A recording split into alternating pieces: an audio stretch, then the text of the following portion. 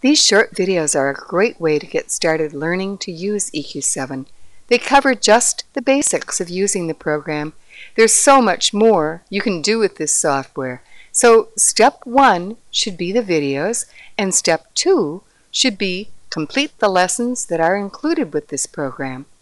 There are more than 20 lessons for you to print out and work through at your own pace. Here's how to print them.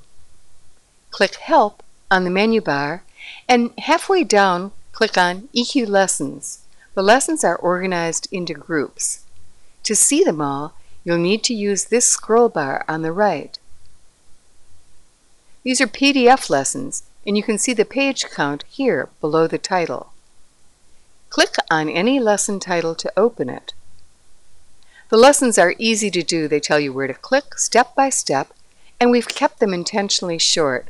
We've written them for new users, but even experienced EQ users can learn from them. We urge you to watch and maybe even rewatch the videos, and please work through these lessons. We know you're anxious to get started designing, but these lessons will shorten your learning curve and get you working productively as quickly as possible.